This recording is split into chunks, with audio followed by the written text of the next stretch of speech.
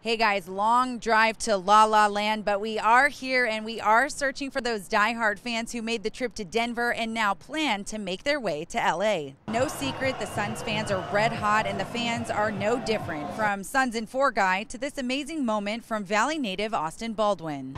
Suns and Four. Suns and Four. The 22 year old recently had all four wisdom teeth pulled, but only one thing on his mind. I guess the Suns were on my mind just coming out of surgery. They haven't been in the playoffs for over a decade, so it's pretty exciting for Phoenix. Mom, Brenda Baldwin, capturing the pure fan in a raw and really painful moment. So I start videotaping. First thing out of his out of his mouth was "Suns and Four. What'd you just say? And that was the first thing on his mind. An undeniable streak, and with CP3 returning for game three, the Baldwins hoping the luck continues for our Phoenix Suns. I definitely think they're pretty good on the road, so I'm going to stay with my prediction. Go Suns!